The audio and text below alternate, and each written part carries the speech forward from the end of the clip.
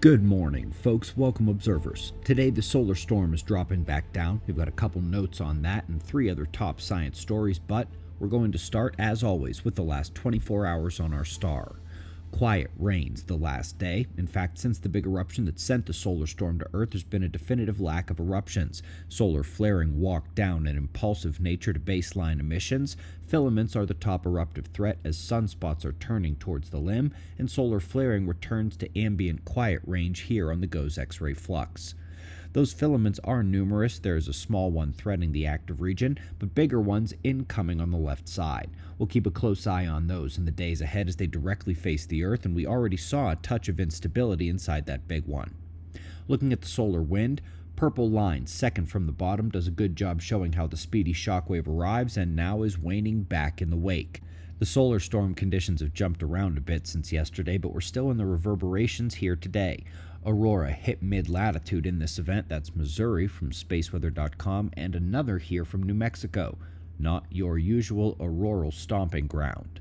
Yesterday we mentioned how the impacts of the solar storm last for a few days after it ends, and sadly, it was today that I discovered the storm time ionospheric correction model data is one of the NOAA budget cut casualties. That's okay. We can look back to the May 2024 storm corrections to get an idea.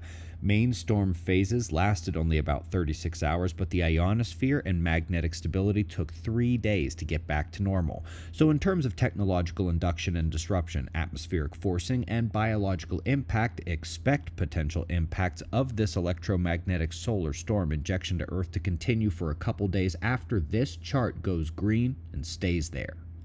First article is about gamma ray lightning.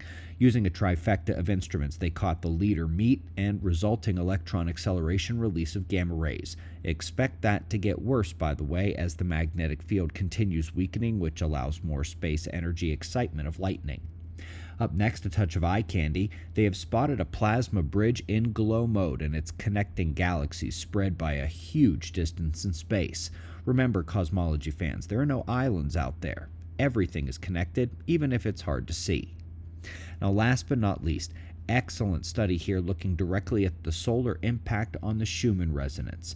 They describe how the peak frequencies change during enhanced solar activity, which makes sense since it's well known that solar activity impacts the global electric circuit, lightning, atmospheric ionization, and the ionospheric height and density. By the way, this also takes amplification as we lose our magnetic shield here amidst the ongoing pole shift. Folks, the full schedule for the rest of the year at Observer Ranch is set. This is June. We have big events pretty much every single weekend. By the way, domes are the most common survival shelter, and we're going to literally make one this coming weekend. The rest of the year is full of awesome experiences, too. Don't forget, we also have some of the largest sites of any RV park in the country, and we are Tier 1 kid friendly. Lots for them to do. Come out and see us. Book your stay at observerranch.com. And folks, Observer Review RE Magazine, two year anniversary special edition on catastrophism studies, comes out this afternoon. When you sign up, you get two issues every month access to the full library of past issues, Observer Review is the only publication on Earth dedicated to the ongoing magnetic pole shift, the Earth disaster cycle, and space weather forcing of our world.